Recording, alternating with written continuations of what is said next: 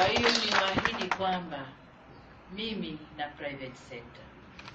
Ninajiandaa kufanya mkutano private sector, wafanyabiashara kupitia taasisi zenu, ili tuzungumze yale yaliyopo ambayo mengine nayajua na tayari nimeshaanza kuyachukulia hatua. Uh, kero za kodi kwa mfano, uh, kero za work permits, kero za kuchelewa kupata ardhi kwenye uwekezaji, usumbufu wa local governments, usumbufu wa mambo mengi mengi ambayo mengine nayajua, mengine nitayasikia kutoka kwenu. Tukae tuone tuna tunayaondoshaje. Nadhani sijui Mungu alinipa ili jina Suluhu, napenda kuona suluhu napenda kuona suluhu ikitokea. Kwa hiyo tutaitana, tukae, si muda mrefu na mambo mengi kidogo, lakini nitakwenda kujipanga, tuitane, tuzungumze na tuone sasa tunakwendaje. Lengo langu ni kufunguka, lengo langu ni kufunguka. Kama bandari yetu inaweza kutuingizia fedha na inakuwa develop vipande vipande, nikauliza kwani kuna dhambi kulidevelop bandari lote lifanye kazi? Nikaambiwa hakuna dhambi. Sasa kwa nini tunasubiri? So mimi nakwenda kulifungua lote lote, natafuta wanaoweza waje kulijenga, wa operate wao wapate na sisi tupate, si ndio?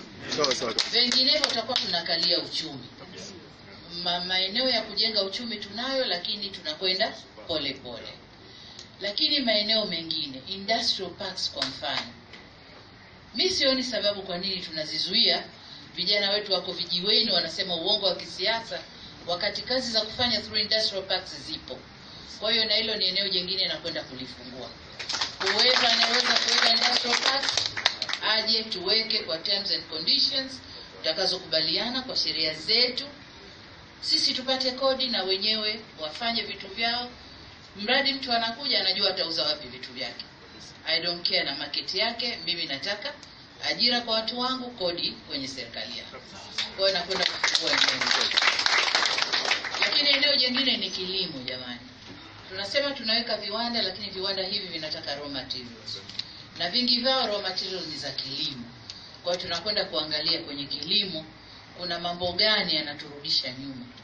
Tunapozungumza mechanization kwenye kilimo, tunakwama wapi? Labda ni mashamba makubwa hatuna au vipi? Yaani kuna mambo ambayo lazima tukatizame, tunaweza kwenda vipi kwenye kilimo.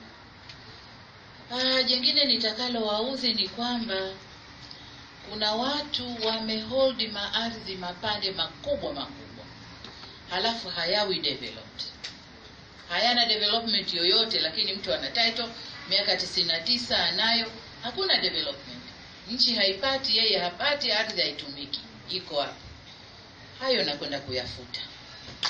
Sasa kama mtu hapa ambao umehold hayo mapande na hayajawa developed, ule uliko develop na kuachia lakini ambako hakujawa develop, nikipata mtu ambaye yuko tayari kuingia kwenye mechanization ya agriculture, anataka 1000 2000 acres, nampa. Nampa ili alime, nchi ipate, na yeye anayefanya apate. Mimi nadhani nikifanya hivi ndio tutakwenda fast, maendeleo yatapatikana, vijana wetu watapata ajira, uchumi wetu utajengeka, na tutaweza sasa kuserve hayo mambo mengine. Jengine nakwenda kufungua nchi. Mmekuwa mkinitukana sana kwenye mitandao, unakwenda kubomoa yaliyojengwa kwa muda mrefu, lakini mimi imani yangu ni kwamba hakuna nchi inayodevelop peke yake, hakuna nchi inayo inayodevelop peke yake. Kwa hiyo nakwenda kufungua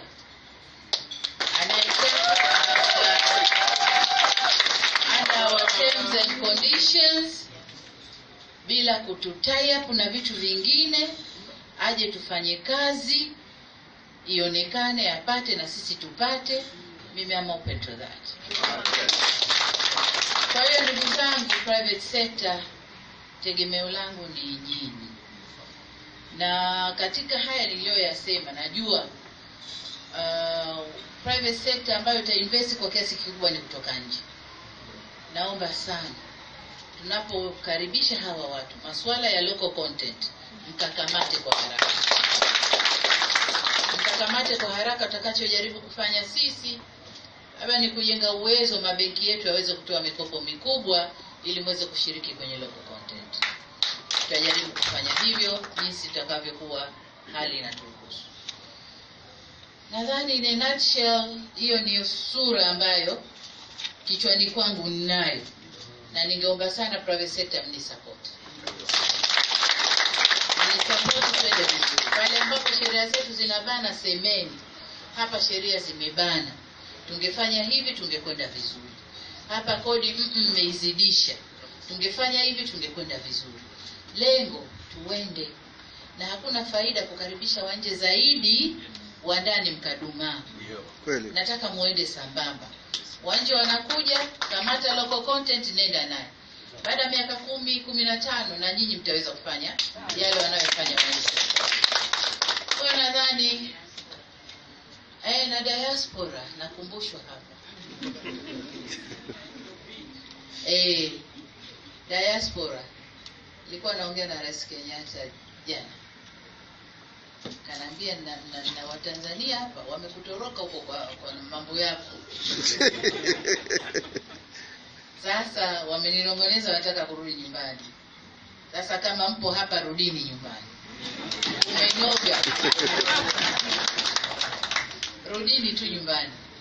Mtakuja kufanya biashara mtakuja kufanya yote ambayo mnataka kufanya with our terms and condition na sheria zilizopo nchini pale ambapo sheria hazitoi hazi, hazi fursa mseme tubadilishe. Hatuwezi kuwa watumwa wa sheria tulizozitunga wenyewe. Hey.